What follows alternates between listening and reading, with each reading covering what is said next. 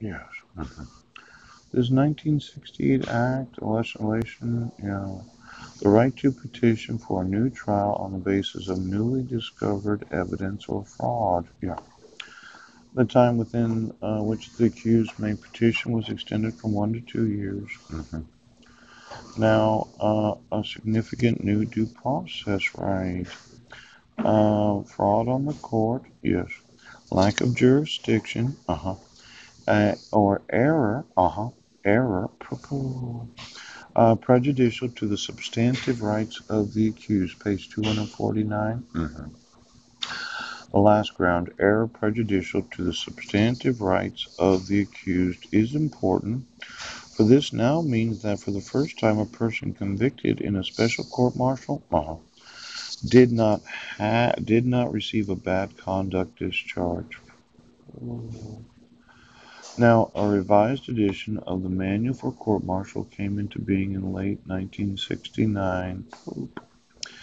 Now, as I mentioned in the last video, I shouldn't have to contact the military about the enforcing of the civil rights of American citizens, but I did, didn't I? Mm-hmm. Because you, as a sheriff's department, wouldn't listen. Mm-hmm. You, as a police department, had decided that you'd make up uh, bullshit crimes that I didn't commit. Yes.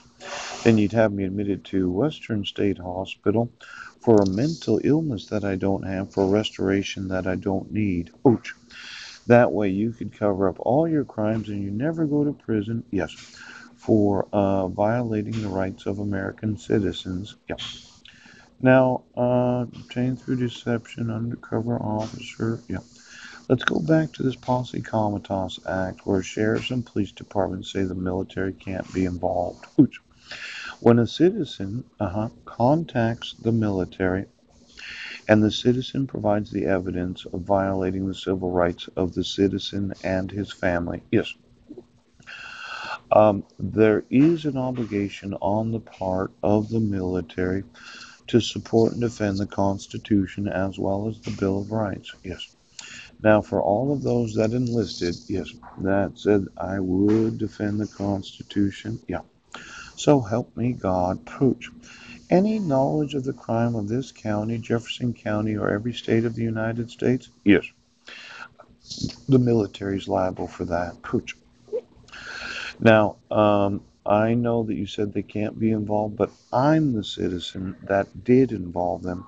See, they never emailed me and said, Paul, how are things going? How are you feeling? How's your Christmas going? Yes, they never did that. I found their email addresses online.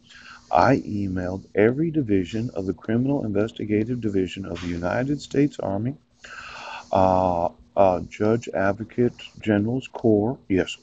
And I email them all of the documentation of all of your crimes, yes. Now, then, for them to allow me to go to Western State Hospital when they know of this fraud, pooch, doesn't look good on the part of the United States Army. It really doesn't. Yeah. And you sat there and said, well, case law indicates that uh, the exception of law in violation of the Posse Comitatus Act, yes, when the armed forces perform uh, tasks assigned to an organ of civil government. Mm-hmm. Now, these armed forces, known as the United States military, mm-hmm. if they were to perform the arresting of sheriffs and police officers when sheriffs and police officers won't arrest each other, yes, that would be in violation of the execution of the law known as posse comitatus. Oh, but when the FBI doesn't arrest sheriffs and police officers for white collar crimes known as civil rights violations, hmm, is it in violation of the Posse Comitatus? Yes. For the Army to arrest the FBI for refusing to arrest the sheriffs and the police officers? Oh. now, I think there are some individuals that the Army can arrest. Yes.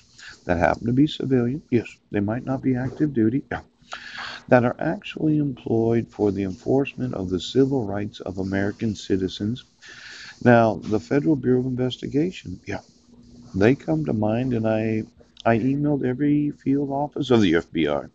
I think the Army can arrest the FBI for the FBI not arresting the sheriffs and the police departments. Oh, then there's Homeland Security. Mm-hmm. I emailed every field office of Homeland Security. Yes They said that they don't have to enforce the civil rights of American citizens. I think the Army can arrest the Homeland Security employees. So let's look at this. Case law indicates that the execution of the law, yes, in violation of the Posse Comitatus Act occurs uh, when the armed forces perform tasks assigned to an organ of civil government. Mm-hmm. When I emailed the police department, my civil rights are being violated, and they say, Well, we don't have to protect your right to due process. Your wife said you were crazy. And I say, no, you do. And I don't have to do your mental health evaluations. And I don't have to allow your arbitrary involvement in my personal life. Yes, I think the FBI and Homeland Security can all go to prison, and maybe the Army and the Navy would like to use their troops, okay, to take them there. Pooch. Now, a civil government does not work when the tasks assigned to those elected, yes, and appointed to office mm-hmm, do not do the performance of their task, yes, known as the enforcement of the guarantees of the Constitution of the United States. Yeah. Now, B, mm-hmm, when the armed forces perform tasks assigned to them solely for purposes of civilian government. Yeah. Now, I know there is somebody that the Army can arrest. Mm. Why don't you take, yes, all of those that have sworn ooh, to support and defend the Constitution of the respective states and the United States and have every soldier and every sailor called them up about the power of Congress to regulate land and naval forces. Okay. Now, the context of assistance to civilian police. I think the civilian police should go to prison. Pooch. I think they should all be replaced. Yes. And that we should employ some new police uh-huh, in the actual police departments. now, for every police department that said the Army can't arrest me, your refusal to enforce the civil rights of American citizens because of your criminal assistance to police departments right now. I think they can. You understand? Seattle Police Department. I think the fucking army can arrest you for the criminal assistance of the Port Angeles Police Department. Now, for three years, I told you what the law says. And you said the Army, the Navy, the Air Force, Marines, they can't be involved because they're regular military instead of National Guard. Mm-hmm. Now, you've all been scratching right now. Po, po, po.